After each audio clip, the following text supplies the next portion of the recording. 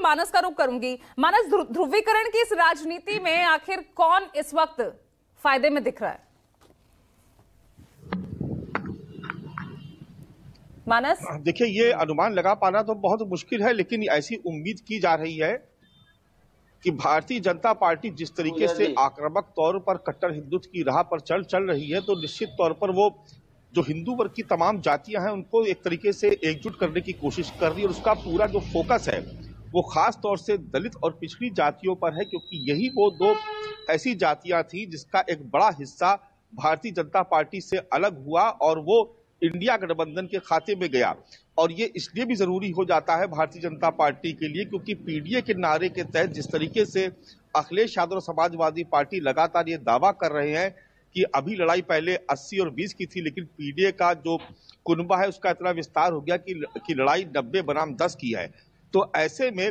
हिंदू मतों के ध्रुवीकरण के लिए जिस तरीके से प्रयास किए जा रहे हैं उसको देख करके ऐसा लगता है कि इस बार भी मुकाबला बेहद रोमांचक होने जा रहा है और बड़ी कांटे की टक्कर होने जा रही है और ऐसी तमाम सारी सीटें हैं जहाँ पर मैं खुद भी गया और मैंने हम्म। देखा कि किस तरीके से वहाँ पर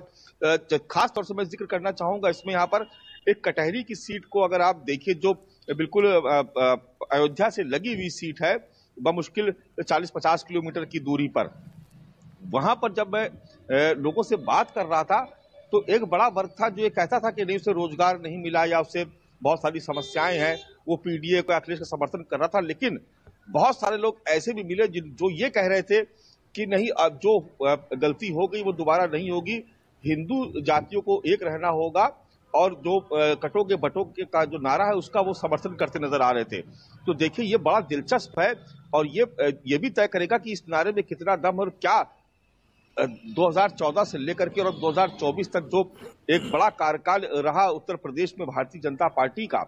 तो क्या वो आगे उसको लेकर के क्या दशा और दिशा है और क्या आज भी हिंदुत्व के नाम पर उत्तर प्रदेश के लोग क्या बीजेपी को सपोर्ट करेंगे? ये बहुत कुछ तय हो जाएगा इस उपचुनाव से। इसीलिए बार बार ये कहा जा रहा है कि ये चुनाव दरअसल भारतीय जनता पार्टी के लिए नहीं, जो हिंदुत्व का एक सबसे बड़ा चेहरा उत्तर प्रदेश में बीजेपी की तरफ़ से जिसको खड़ा किया गया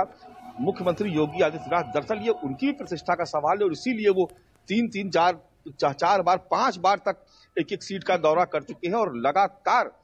वो चुनाव प्रचार में जुटे हुए हैं और ये कोशिश कर रहे हैं कि किसी भी तरीके से जो हिंदू जातियाँ हैं उनको एकजुट रखा जाए उनको एक छतरी के नीचे एक एम्ब्रेला के नीचे रखा जाए क्योंकि तब लड़ाई जो होगी वो 80 बनाम 20 की पलट जाएगी क्योंकि फिर 80 फ़ीसदी बीजेपी के खेमे में और 20 हम्म। फ़ीसदी दूसरे विपक्ष के खेमे में और यही वो ऐसा ऐसा एक मुद्दा है, ऐसा एक मसला है, जिसको लेकर के अखिलेश यादव भी लगातार आक्रामक और अब देख रहे हैं कि किस तरीके से वो अपनी जनसभाओं में कटोगे बटोगे के दायरे पर हमला कर रहे हैं बार बार वो पीडीए का ज़िक्र कर रहे हैं बार बार वो युवाओं का सवाल उठा रहे हैं, रोज़गार का सवाल उठा रहे हैं और ये बता रहे कि बीते दस सालों में उत्तर प्रदेश को क्या मिला? जो रोज़गार का सवाल था, जो पेपर लीक का मुद्दा खासतौर से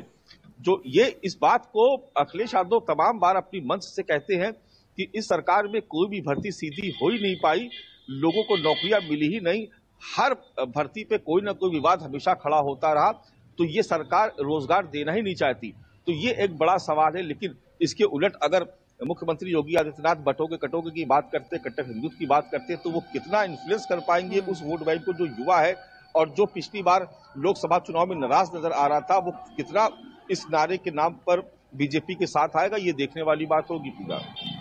बिल्कुल, देखने वाली ये बात होगी। आखिर ध्रुवीकरण की इस राजनीति में पीडीए का कितना शोर रहेगा? अनिल दुबे